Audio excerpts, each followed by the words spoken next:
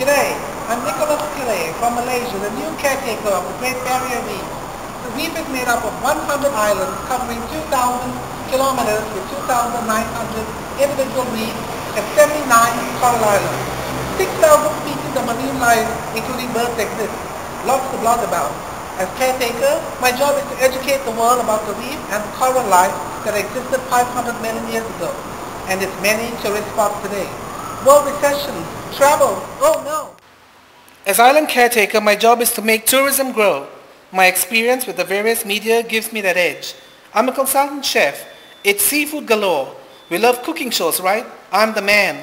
We need to preserve the reefs and marine life. As caretaker of the island, it's my job. Media attention is vital. Finally, Australia is like my second home, and I'm loving it.